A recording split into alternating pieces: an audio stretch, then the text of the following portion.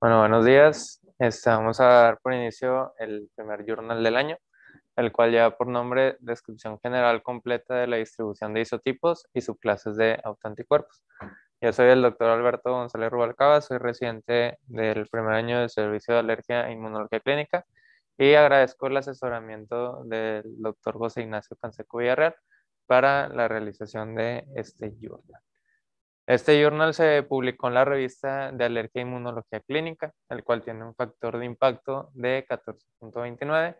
Y el doctor que realizó este artículo es el doctor Mikhail Volkov, el cual es eh, reumatólogo de la Universidad de Leiden en Ámsterdam. Y él cuenta con ocho artículos y se ha citado en 110 ocasiones. Y como introducción, entendemos que los anticuerpos autorreactivos son el principal eh, denominador de muchas enfermedades autoinmunes. Y para cada autoanticuerpo específico, pues estos tienen varias subclases que pueden estar presentes de manera simultánea. Y el perfil de cada subclase puede influir en la fisiopatología de las distintas enfermedades autoinmunes. Y para recordar que las células B humanas expresan cinco tipos de, inmunoglobulinas, la IgG, la IgA, la IgM, la IgE y la IgD. Y de, de, estas, la IgG y la IgA, esas tienen distintos tipos de subclases. La IgG de la IgG1 a la 2, 3 y 4. Y la, IG, la IgA tiene sus subclases que son la IgA1 y la IgA2. En tanto en frecuencia, la inmunoglobulina que es más abundante es la IgG en el 80%, seguido de la IgA en el 15%, posteriormente la IgM, seguida de la IgD y la que se ha demostrado, bueno, la que se ha encontrado en trazas es la IG. Y la función de la inmunoglobulina D, pues aún sigue en estudio. Hay estudios que son este, controvertidos, pero la función está un poco desconocida acerca de esta inmunoglobulina, por lo cual no es función de estudio en este artículo. Entonces la respuesta de la, la, respuesta de las células B comienza principalmente con la producción de inmunoglobulina M, el cual va a sufrir el cambio de, de, isotipo y va a empezar a producir los distintos tipos de inmunoglobulinas, como la IgG junto con sus subclases, la IgA con sus dos subclases y la IgE y la IgD. Y cada isotipo y subclase de estas inmunoglobulinas va a contar con una función específica a través de su receptor, el cual este va a permitir la eliminación de patógenos creando una respuesta inmune. Entonces las funciones principales de los, de los anticuerpos va a ser la activación del complemento, el cual lo va a activar por la vía clásica y por la vía alternativa, y este va a jugar un papel muy importante en la patogénesis de muchas enfermedades autoinmunes. La otra función es la unión a su receptor y este va a activar las células inmunes. Entonces, para la inmunoglobulina G, pues hay cinco tipos de receptores.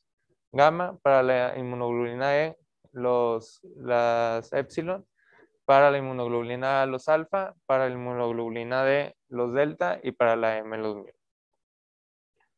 Entonces, los, los autoanticuerpos van a jugar una función muy importante para el diagnóstico de estas enfermedades y van a ser unos biomarcadores altamente específicos para, para, estas enfermedades. Y además van a tener un papel importante en la patogénesis de la enfermedad. La alta sensibilidad de estos autoanticuerpos junto con las propiedades patogénicas van a mejorar la estratificación de estas enfermedades. Entonces, las subclases de, de, los autoanticuerpos van a desempeñar un papel fisiopatológico específico y van a determinar un fenotipo que puede requerir, requerir una estrategia de tratamiento diferente. Aquí ponemos un ejemplo en el cual los pacientes con polineuropatía desmielizante inflamatoria crónica, estos pacientes no se van a beneficiar de una inmunoglobulina intravenosa, pero se van a, beneficiar del rituximab y esta enfermedad se caracteriza por autoanticuerpos que son predominantemente IgG4.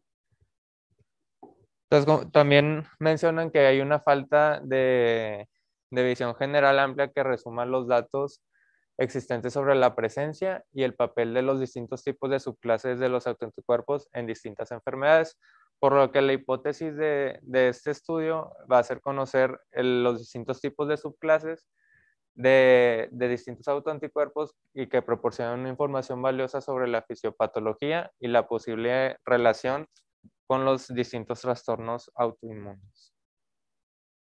Por lo que en este estudio, pues agrupar las enfermedades, se pueden agrupar las enfermedades porque un autoanticuerpo domine o esté ausente este, puede ayudar a identificar la patogénesis de la enfermedad, además de tener una terapia dirigida para distintos tipos de autoanticuerpos.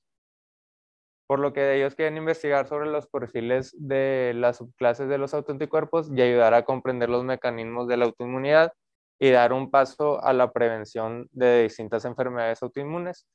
Entonces, este estudio ofrece una gran variedad de enfermedades autoinmunes y los autoanticuerpos con un enfoque específico en los anticuerpos que han demostrado desempeñar un papel importante o un papel patogénico directo.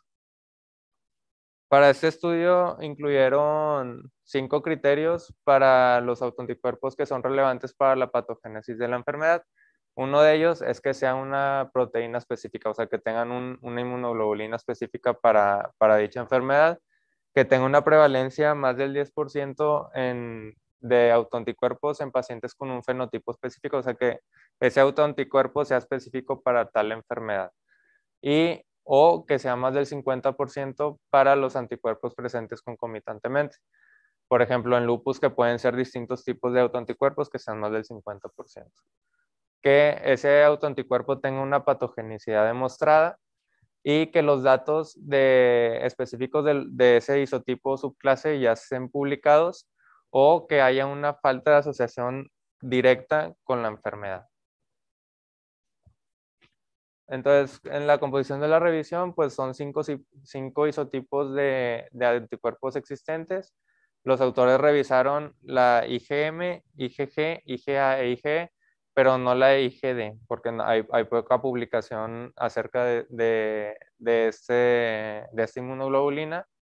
Y la IgA no, por ejemplo, en la IgG sí pusieron todas las subclases de inmunoglobulinas, pero en la IgA, como no, no, hay tantos datos acerca de la IgA1 y la IgA2, solamente incluyeron la IgA, IgA total. Y como los aspectos principales sobre, los, sobre las subclases específicas, eh, pusieron tres puntos, como el primero que es la presencia de estas subclases específicas en los autoanticuerpos en los pacientes, la relación entre las subclases de anticuerpos y diversos parámetros clínicos, y que tengan signos de patogenicidad in vivo o in vitro. Para la selección de estudios, pues revisaron estudios en PubMed, en Web of Science y en Google Scholar, y fueron 27 trastornos y demostraron 72 autoanticuerpos que fueron presentes en, estas enfermedades. Y los datos para esta revisión, que, que fueron los datos incluso, era positividad para las subclases específicas, la correlación de los, de los anticuerpos con parámetros clínicos y evidencia de patogenicidad in vivo o in vitro. Entonces, estos fueron los resultados. Este, fueron 26 autoanticuerpos para 21 enfermedades, ya al final de, los que habían estudiado. El que más eh, estaba presente en todos los estudios pues, fue la IgG, que estuvo presente en, en, todos los estudios, y las subclases de IgG de 24, estuvo presente en 24 de los 26 autoanticuerpos. El siguiente en frecuencia fue la IgM, que estuvo presente en el 73% seguida de la IgA en el 69% y por último la IgE que solamente estuvo presente cerca del 20%. Entonces, cuando una subclase se mantuvo estable o esta reapareció a pesar del tratamiento y se asoció con una recaída clínica de la enfermedad, ese se incluyó como si fuera un biomarcador predictivo de la autoinmunidad. Y la IgG fue la subclase, fue el anticuerpo que se midió más frecuentemente en los estudios y también es el isotipo para el cual la mayor parte de la información estaba disponible en los estudios que se revisaron. Entonces, los efectos de patogénicos in vivo que se realizaron fueron la inducción de síntomas específicos de la enfermedad en modelos animales, medio mediante la inmunización pasiva o activa. La inmunización pasiva fue la transferencia de autoanticuerpos humanos a animales sanos para así inducir los síntomas de la enfermedad Y la inducción, bueno, la, activa fue en modelos transgénicos que simplemente desarrollaban espontáneamente los, los anticuerpos. Y en recién nacidos como resultado de la transferencia pasiva por medio de la lactancia o a través de la placenta. Entonces, en los recién nacidos, la inmunización, los estudios de inmunización activa, pues no se pudieron determinar una subclase específica, ya que este, habían otros factores que podían influir en, en, estos tipos de estudio. Y la IgG fue el que se incluyó en los recién nacidos porque muy probablemente desempeñaba un papel importante en los síndromes autoinmunes.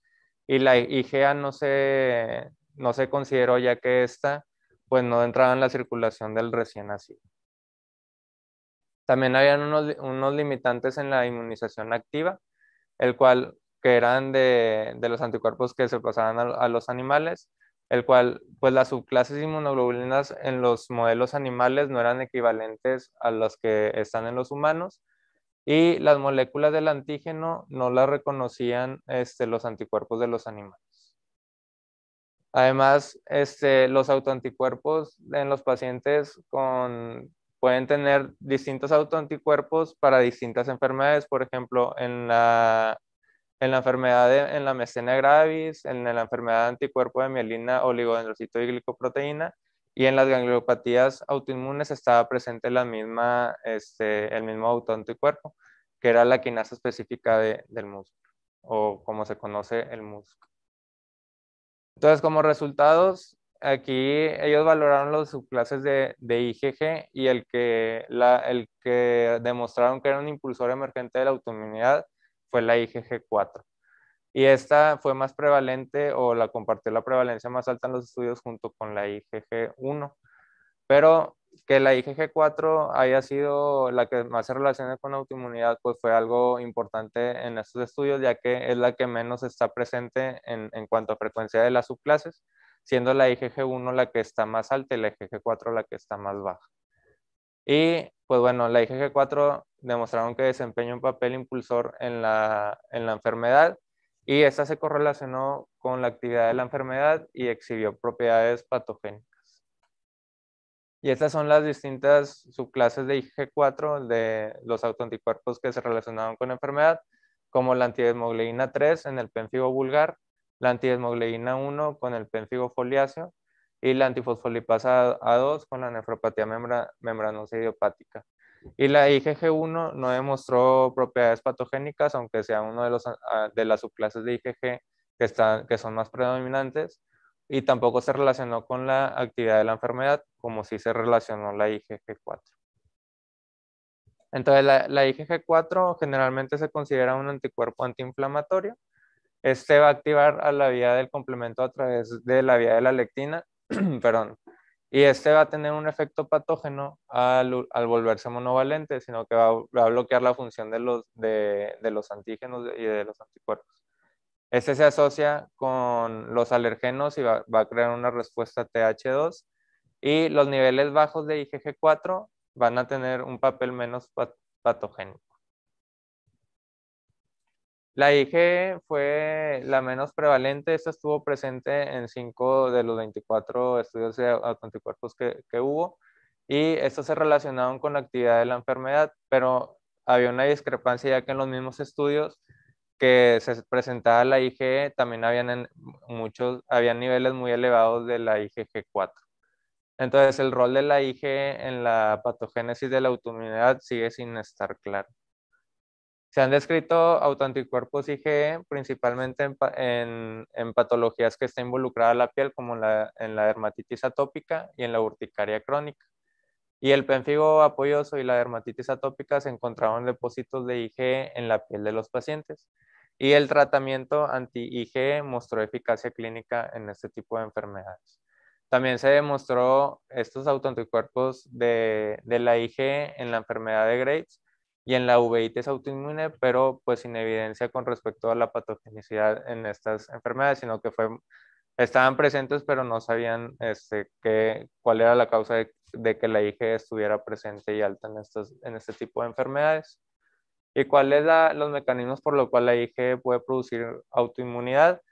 va a tener un involucro en los mastocitos y basófilos y van a presentar niveles altos del receptor, participando así en las lesiones cutáneas. Van a formar complejos inmunes activando las células dendríticas y va a haber captación de antígenos y la presentación va a ser mediada por HLA con una respuesta TH2. Y va a haber un vínculo con la respuesta de IgG4, como mencioné que en los, en los artículos que estaba presente la IG, la IgG4 estaba presente a la par y estaba con niveles más elevados. Entonces es un estudio de investigación aún la IG en distintos tipos de enfermedades autoinmunes. Los métodos terapéuticos que van a agotar los autoanticuerpos, pues tenemos dos tipos de, principales de, terapia. Uno son los métodos extracorpóreos, el cual ya conocemos principalmente la plasmaféresis, que estos van a reducir los niveles directamente de, los, de las proteínas, de los autoanticuerpos. Y los métodos farmacéuticos, el cual va a afectar la vida media o la producción de inmunoglobulinas.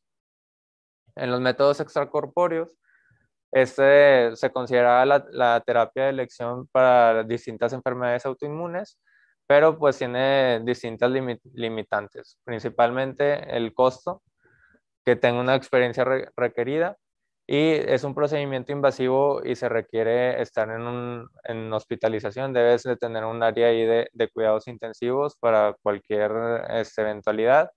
Y las plasmaféresis se van a eliminar, eliminar las proteínas plasmáticas, lo que hace difícil atribuir el efecto per se a la plasmaféresis porque no va a ser directamente a las, no, no son selectivos, sino que pues va a eliminar todos los autoanticuerpos por lo que se prefiere la inmunoabsorción, que esta es más selectiva y va a, ser, va a tener una eliminación selectiva de los isotipos particulares. La otra opción son los métodos farmacéuticos, que pueden ser dirigidas hacia las células B, como ya conocemos el rituximab, que este va a disminuir los autoanticuerpos, pero no disminuye todo per se porque también se pueden producir por otras células. Por medio del método farmacéutico dirigido hacia las células plasmáticas y el, el, que es dirigido hacia el, hacia el receptor. Como tenemos para, dirigido hacia el receptor para la IgG como el eferdimod y el rosanelixumab, que también además dirigidos hacia los anticuerpos van a ser, digo, hacia el receptor directamente como lo malizumab que es dirigido hacia la IgE, que es para la urticaria crónica es espontánea y para el pénfigo apoyoso. La mayor parte de, los, de las terapias dirigidas a los autoanticuerpos son de manera inespecífica e indirecta, lo que hace el efecto temporal e incompleto. Pero actualmente se han desarrollado aún más métodos, siendo cada vez más específicos. Ahí tenemos como el omalizumab, dirigido para la IG. Hay datos contradictorios este, en, en, este estudio. Por ejemplo, algunas subclases investigaron en, en un gran número de estudios de alta calidad mientras que otros estaban presentes nada más en enfermedades raras y solo se midieron un número limitado de estudios con pocos participantes. Había variación en la prevalencia de las subclases encontradas entre los estudios. Algunos, eh, algunos estudios que se reportaron presentaban resultados positivos y otros presentaban resultados negativos de las subclases con la autoinmunidad. Había número limitado de pacientes y diferencias en las características. Por ejemplo, no todos estaban en el mismo estadio de la enfermedad. El estado de tratamiento no era el mismo en los distintos pacientes y la etnia y la edad eran diferentes en, cada, en los estudios que se presentaron. Y en caso de los datos que fueran controvertidos, se seleccionaron los autoanticuerpos para los cuales se demostró evidencia de patogenicidad. Los diferentes estudios pues no usaron el mismo tipo de, de métodos para analizarlos. Por ejemplo, unos los estudian por medio de ELISA, otro por medio de inmunoblotting, etc. Y cada estudio presentaba diversos varios de, de variación técnica. Y los métodos exactos utilizados para calcular el punto de corte también fueron diferentes en los estudios. Y la mayoría de los estudios utilizaban la IgG total y no, no estudiaban las subclases de inmunoglobulinas para asociarlo con la clínica. Entonces, la, la, mayor parte de los estudios, pues nada más solicitaban la inmunoglobulina G total. Y había limitación en la patogenicidad de los autoanticuerpos en los recién nacidos. Y esta discrepancia era por el estado subdesarrollado de, y más tolerogénico del sistema inmune en los recién nacidos. Había una falta de expresión del antígeno en los recién nacidos y además de que había ausencia de síntomas claros en, en estos pacientes. Y sobre la IgM y la IgA, la IgM tiene una, auto, es, tiene una vida media más corta en comparación de la IgG. La IgM es de 5 días, recordar que la IgG es entre 21 y 28 días. Y además de que no había IgM de memoria debido al cambio de clase, recordemos que es la primera inmunoglobulina que hay y posteriormente al cambio de clase ya se empiezan a producir la IgG, IgA, IG, IgD, perdón. Y los autoanticuerpos IgA podrían indicar un vínculo con los patógenos de la mucosa, pero siguen sin estar claros estos. Estas han sido poco estudiadas, siendo una gran limitación para los estudios de autoinmunidad. Y los ensayos altamente sensibles y específicos y una preparación más cuidadosa de las muestras podían probar o sea, podríamos solicitar más frecuentemente la IgM y la, y la IgA, pero no es algo tan habitual y no hay tantos estudios para que se relacionen con la autoinmunidad. La falta de enfoque en las funciones efectoras mediadas por el fragmento de unión antígenos. Entendemos que las funciones efectoras de los anticuerpos generalmente están mediadas por la fracción cristalizable y los anticuerpos van a ejercer la, los efectos prejudiciales mediados por el fragmento de unión antígenos al inhibir directa o indirectamente la función del antígeno o bloquear su interacción con otras moléculas. Y esto se observa principalmente con los autoanticuerpos de IgG4 que tienen una afinidad alta y propiedades inflamatorias mediadas por la fracción cristalizable de Y ya como las conclusiones de este estudio, los autoanticuerpos son una herramienta clave para investigar las diversas enfermedades autoinmunes, siendo tanto una herramienta de diagnóstico, así como un instrumento para la investigación a futuro. Este ha sido el primer y único resumen de los datos existentes sobre la prevalencia y las características de las subclases de diversos autoanticuerpos en diferentes grupos de enfermedades. Ciertas subclases parecen desempeñar un papel importante en la mayoría de las respuestas de autoanticuerpos, y ciertas subclases pueden presentar similitudes fisiopatológicas entre distintas respuestas de autoanticuerpos y enfermedades y así proporcionar distintas opciones en cuanto al tratamiento dirigido en, estas enfermedades. Es un nuevo ángulo de investigación y estratificación de las respuestas autoinmunes, diferente al enfoque convencional de agrupar solamente las enfermedades por medio de la presentación clínica o por la participación de los órganos involucrados. Y las terapias que agotan los, los anticuerpos se han vuelto cada vez más específicas, incluidas las terapias a IgG e IgE, y se podrían complementar en algún futuro con las terapias dirigidas a IgA e IgM. Hay muchos aspectos eh, relacionados con los isotipos no IgG y con las distintas subclases de inmunoglobulinas este, siendo poco estudiadas para la mayoría de las respuestas de anticuerpos. Y las mediciones de los, de los autoanticuerpos más allá de la IgG total pueden haber pasado por alto, por lo que un enfoque más profundo de estas subclases podría mejorar los estudios clínicos. Entonces, un enfoque multidisciplinario para el perfil de isotipos de autoanticuerpos puede dar lugar a nuevos conocimientos y aumentar aún más nuestra comprensión de la autoinmunidad. Y ya para el checklist de, este artículo, la revisión examinó una pregunta clínica importante y centrada. Sí, querían conocer la prevalencia de los autoanticuerpos y el rol con la autoinmunidad de distintas enfermedades. Se realizó una búsqueda exhaustiva de las bases de datos apropiadas y se exploraron otras fuentes potencialmente importantes para minimizar el riesgo de perder estudios relevantes. Se buscaron artículos de forma manual en PubMed, Web of Science y Google Scholar. Y además de los artículos que, que, habían revisado, también checaban los resúmenes y las bibliografías de los cuales los estudios que, que se presentaron. Se utilizaron criterios para seleccionar artículos para su inclusión. Había unos criterios para, para los anticuerpos, que era como la positividad específica de las distintas subclases, la correlación de los anticuerpos como parámetros clínicos y la evidencia de esta patogenicidad in vivo o in vitro. Fueron reproducibles las evaluaciones de los estudios, pues como parte de las limitaciones de, estos estudios decían que había una gran variabilidad en, los distintos estudios, como el tamaño de la muestra, que en distintos estudios estaban de manera positiva y en otros negativa. Y la inmunoglobulina que más estudió fue la IgG. Incluso dentro de la IgG, pues no, no estudiaron tanto las distintas subclases de, de, esta, de esta inmunoglobulina. Los resultados fueron similares de un estudio a otro, pues no, el mismo artículo lo menciona, que había una gran variabilidad de resultados en, en este estudio.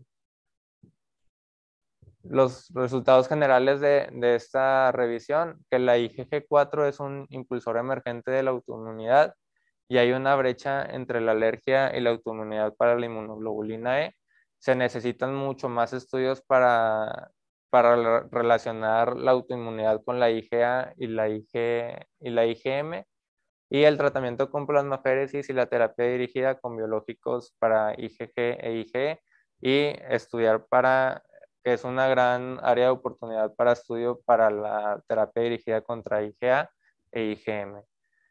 ¿Qué tan precisos fueron los resultados? Pues variaban los resultados entre los diferentes tipos de estudios, a pesar de la gran cantidad de literatura dedicada a los anticuerpos con, diversas enfermedades, solamente se centraron en la, mayor parte de los estudios solamente se, centraron en estudiar la IgG total y no las subclases de la, del resto de las inmunoglobulinas.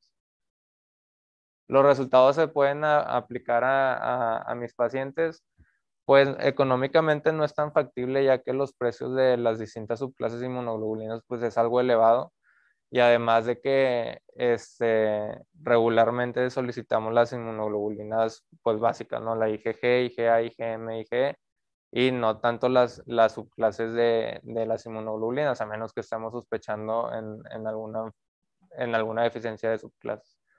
Se consideraron todos los resultados clínicamente importantes, ¿sí? además de que se excluyeron aquellos de que no fueron relevantes. Y hubo, los beneficios valen los daños y los costos, pues no se menciona esto en los estudios.